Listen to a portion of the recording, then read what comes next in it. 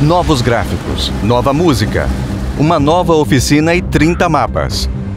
A única coisa que continua a mesma são os requisitos mínimos do sistema. Assista a análise da atualização 1.0 para mais detalhes.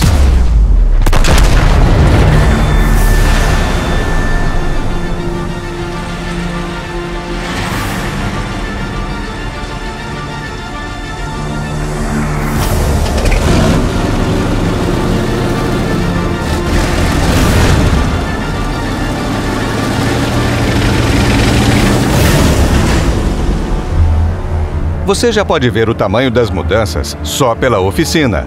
A nova oficina substitui aquela antiga, pequena e aconchegante. Ela está completamente diferente. Agora não dá nem vontade de usar uma palavra tão simples como oficina. Esse lugar inspira novas conquistas e vitórias.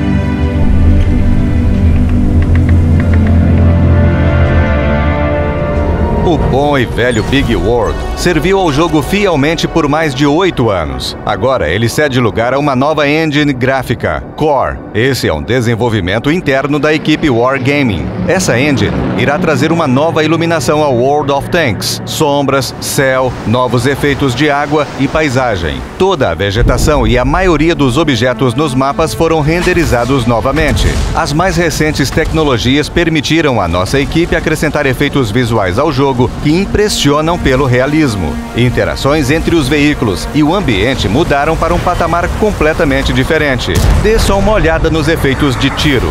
A tecnologia Havoc Destruction permitiu que mudássemos a abordagem do sistema de destruição do jogo. Futuramente, o número de objetos destrutíveis irá aumentar. A nova engine deixou cada mapa praticamente sem fronteiras. Mas o mais importante é que os requisitos mínimos do sistema não foram alterados. Se você podia jogar World of Tanks na sua máquina com os gráficos mais antigos, certamente ficará satisfeito com os novos gráficos no mesmo PC. Na primeira execução do jogo, as configurações serão definidas automaticamente. O sistema irá selecionar o máximo de qualidade com uma contagem de FPS confortável para jogar. Se não for o bastante, você poderá ajustar as configurações manualmente. Há um vídeo especial em nosso canal sobre como ajustar as configurações do modo mais eficiente. O link está na descrição.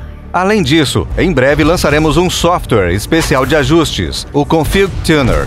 Ele permitirá que se aumente o FPS com uma configuração mais precisa dos efeitos visuais. Siga nossas notícias no site oficial. A atualização 1.0 incluirá 29 mapas conhecidos recriados em HD. O primeiro mapa do jogo, Carelia, vai estar lá também. O inesquecível Mountain Pass com seu cenário montanhoso também. Além de Nebelburg, o queridinho de muitos. O mapa Arctic Region não mudou apenas em visual, seu nome também mudou. Agora ele se chama Mannerheim. O mapa Overlord foi repensado e retornará agora para o jogo. Há algumas mudanças em quase todos os mapas. A vegetação mudou em alguns deles. Apareceram pedras em outros lugares. Da perspectiva da jogabilidade, a maior parte das mudanças foi introduzida em mapas como Ruinberg, Steppes, Fjords, Fisherman's Bay e Erlenberg. Antes, a equipe superior podia facilmente atirar pela rua central da área verde de Ruinberg e seus oponentes não podiam fazer nada a respeito. Agora, a equipe inferior tem uma posição que compensa essa mecânica injusta. Ambos os lados foram aprimorados consideravelmente em steps. O mapa possui mais coberturas e pontos para combate posicional.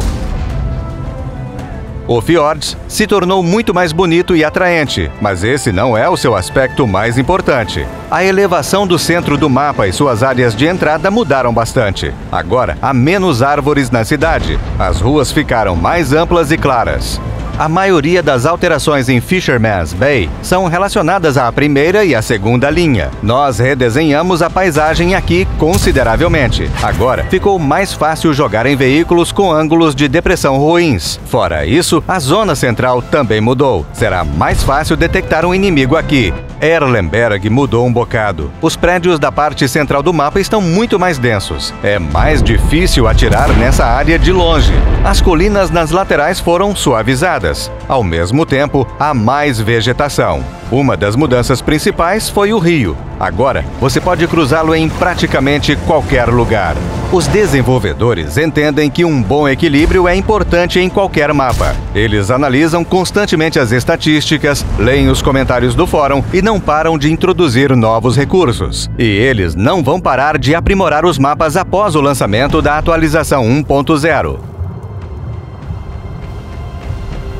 Outro mapa de inverno do jogo será o inédito Glacier. Esse é um mapa, no mínimo, muito empolgante. Você tem que vê-lo. Esse mapa traz os jogadores para perto do Círculo Ártico. As batalhas evoluem perto de montanhas nevadas impenetráveis, em meio a um verdadeiro cemitério de navios gigantes. Uma boa parte do mapa é de superfície congelada. Em alguns pontos, o gelo pode até mesmo rachar sob os pesados veículos, fazendo com que afundem. No início, você deverá ter cuidado e estudar o mapa detalhadamente.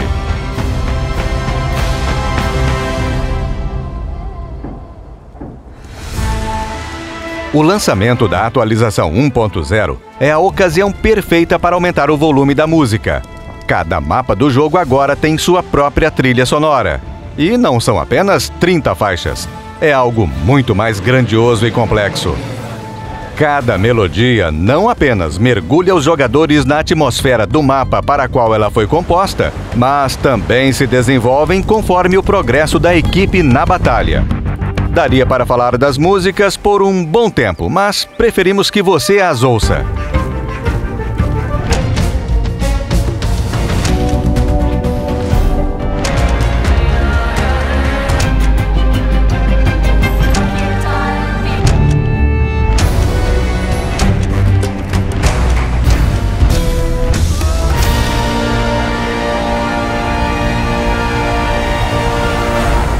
Atualização 1.0 é o começo de uma nova contagem regressiva. Muito já foi feito, mas ainda tem muitas coisas novas e interessantes na espera. Acompanhe as atualizações e boa sorte nos campos de batalha.